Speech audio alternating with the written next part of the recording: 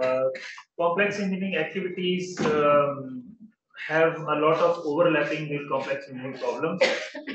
The major difference between the complex engineering uh, problem and activity is uh, that this problem, complex engineering activity must be some physical activity that interacts with the uh, society and uh, it should also have like complex engineering problems it should also have uh, different shades of complexity so uh, for uh, complex engineering activity as per uh, जो मैंने आपको last table दिखाया था complex engineering problem वाला वो जो table आपने पीछे देखा था that is that table is already uh, given in a PC manual और ये वाला table भी PC manual में available है तो इसमें ये है कि इसकी जो statement है कि complex engineering problems means engineering activity or project that have some or all of the following characteristics. यानी कि ये जो engineering activity one two three four five हैं, अगर इनमें से कोई सी भी दो चीज़ें शामिल हो जाएँ तो it would be taken as a complex engineering activity ठीक है? तो इसमें any two of them make activity and अगर आप उसकी कॉम्प्लेक्सिटी को बढ़ाते जाएँ तो all five can also contribute in complex engineering activity. So let's see uh, what these are. Overall, uh, the explanation here, it is the physical engineering activity or project that may have impact on society and may involve finances and equipment, for example, मिसाल हैं complex activities की कि कोई R F I D based toll collection system आपने highway पे बना के लगाना है सो so, कंप्यूटिंग के परस्पेक्टिव में physical activity normally it is very difficult बाकी तो इंजीनियरिंग में it is normally otherwise physical activity लेकिन यहाँ पे उसको फ़िज़िकल एक्टिविटी में ट्रांसफॉर्म करना थोड़ा सा डिफिकल्टी होती है पर इस तरह की कुछ चीज़ें हो सकती हैं। Optimization of traffic flow through automation of traffic signals तो ट्रैफ़िक सिग्नल्स को इस तरीके से ऑटोमेट किया जाए कि जो फ्लो ऑफ़ ट्रैफ़िक है वो ऑप्टिमाइज हो जाए। IoT based patient monitoring system This can be involve a lot of equipment, finances, society, uh, programming, and smartphones. So, few examples. Uh, so it has got five shades. the first is range of resources. So there should be, uh, it should involve a good range of resources. For example, uh, multiple people. It should involve. It can involve money, equipment, materials, information, technologies. Uh, तो diverse resources जो हैं uh, इसमें अगर engage हैं तो we would say it is E A one parameter it full parameter similarly E A two level of interaction so जिस तरह हमने पीछे देखा था कि conflicting requirement good number of stakeholder so it is also the same thing here it should have a uh, wide-ranging requirements with different stakeholders which are conflicting with each other also. So it is the same. Innovation. So anything, uh, any activity you are doing, uh, it should be uh, something new, creative, or innovative sort of thing. So, uh, so innovation is also one of the uh, reflections consequence to the society and environment. So how it um, uh, it uh, interact with the society or how it uh, helps the society this particular activity. So that is also important to have significant consequence in the range of context characteristic by difficulty of prediction and mitigation. And familiarity ये वही है जो पीछे भी हमने देखा था कि कोई ऐसा चीज ना हो जो कि वैसे ही उसको नेट से मिल जाएगा रेडीमेड मिल जाएगा कहीं से, कोई आपने उसको प्रॉब्लम दिया, वो कॉलेज रोड से जाके वो ले आएगा तो उस तरह की कोई चीज़ नहीं होनी चाहिए। So it should have something new और उसको करने का तरीका यही है कि कोई लोकल किस्म के कोई इशू उसको दें और उसको वो हैंडल करेगा तो he will have to do something let's see it's example जिस तरह मैंने आपको पीछे के चार पाँच एग्जांपल्स बताई थी शुरू में तो it is one of the जो वहाँ से मैंने पिक किया है। Development of IoT based patient monitoring system let's say हम उसको एक patient monitoring system IoT based patient monitoring system किसी को कहते हैं कि आप ये बनाएँ। तो इसमें as per my assessment there are three different reflections in this activity we can have. the range of resources uh, in this particular uh, system the system would require resources like iots money it equipment uh, developers चाहिए होंगे uh, the people may have to visit and see कि IoT system जो patients के लिए कहीं और लगे हैं वो कैसे हैं क्या उसके किस तरीके से चलता है networking resources so there are various uh, shades of resources that may require for this project level of interaction so uh, there are a lot of requirements the system would require interaction with the patients their families doctor hospital administration vendors जहाँ से equipment लेना है regulatory कोई issue होंगे उनके साथ भी बातचीत करनी होगी फंडिंग एजेंसीज और फिर कुछ ना कुछ रिसर्चर का काम होगा so they will have a conflicting requirement include data privacy and sharing real time monitoring or storage so they are contradicting or conflicting with each other फिर अगर यूज़र फ्रेंडली ज़्यादा होना है तो कॉम्प्लेक्सिटी पे कॉम्प्रोमाइज कॉम्प्लेक्सिटी को कैसे देखेंगे? कॉस्ट कम करनी है तो क्वालिटी पे कैसे बैलेंस होगा? So there are various interaction and conflicting requirements and P A four is also possibly their consequence to society so society पे क्या होगा इसका impact system can improve the health care care. Patient care will improve. Healthcare access would be easier. Technology का इस्तेमाल society में बढ़ेगा human uh, negligence जो patient को लेट से कि हम ह्यूमनली हर वक्त मॉनिटर करना मुश्किल होता है तो सिस्टम और आईओटी सिस्टम उसकी नेग्लिजेंस नहीं इतनी होगी uh, जो उसकी फ्लिप साइड है कि energy consumption this will lead to some energy consumption carbon emissions so इस तरह के इम्पैक्ट इसके सोसाइटी या एनवायरनमेंट पे हो सकते हैं।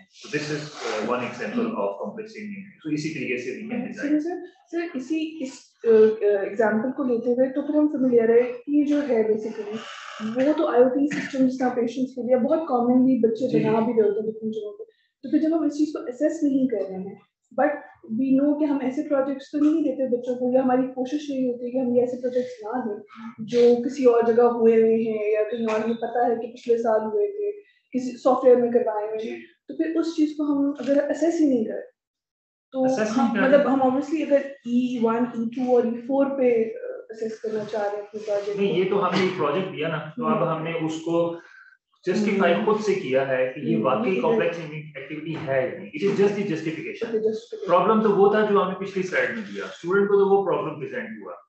अब उस प्रॉब्लम को हमने जस्टिफाई कर रहे हैं कि ये प्रॉब्लम वाकई एक कॉम्प्लेक्स प्रॉब्लम है।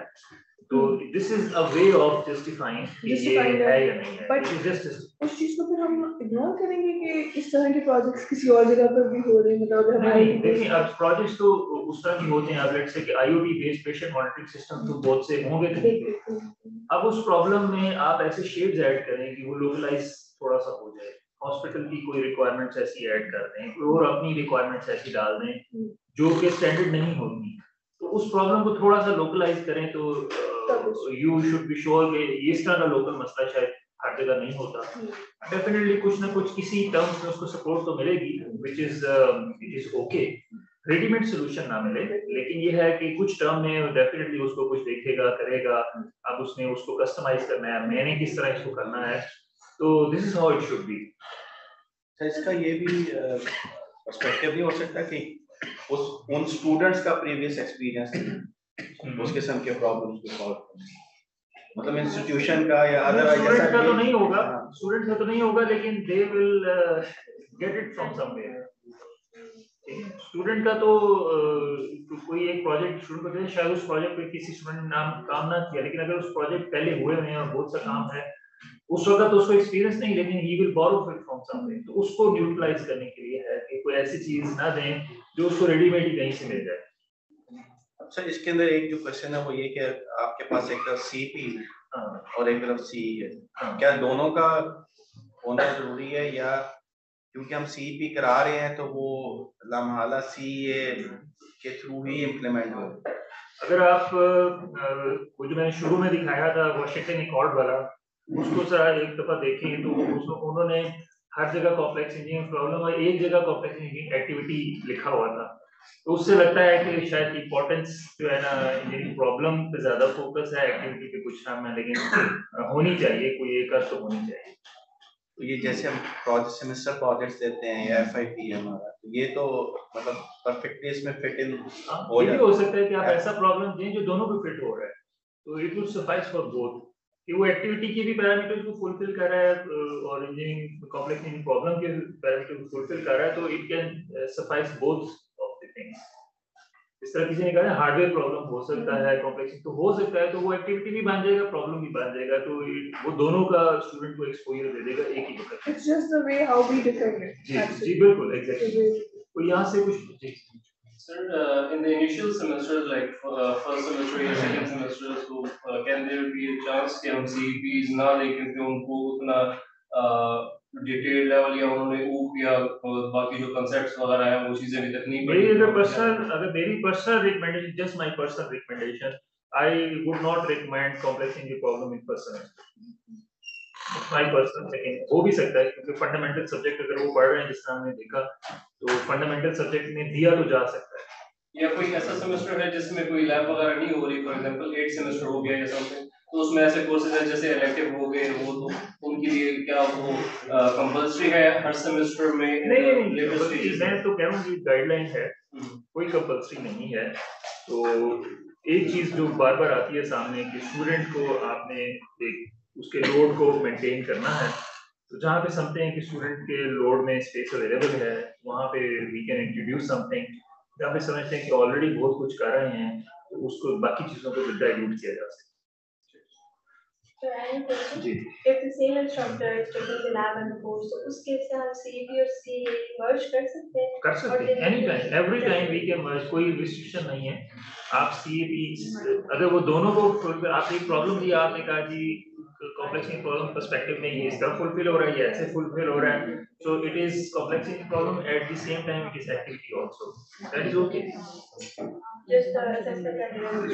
में। थोड़ा सा डिफ़िकल्ट है। लेकिन जो दूसरे इंजीनियरिंग थे उसमें तो आसान है। They have the activity problems हैं हमारे डिपार्टमेंट में जाते हैं सेम इंस्ट्रक्टर लैब लगा हुआ है। हाँ। हमें होता है कि सीपी अलग रखो और लैब की ओईएल सी ओईएल डिफरेंट चीज़ है। उसमें हम आते हैं लेकिन मैं हाँ सीईए और सीईपी ये कंबाइन हो सकते हैं। हो सकते हैं लेकिन ओईएल डिफरेंट वो आते हैं तो हाँ वो इसके साथ कंबाइन शेयर नहीं हो सकेगा। लेकिन ये है कि बाकी ये एक्टिविटी और प्रॉब्लम हो सकते हैं।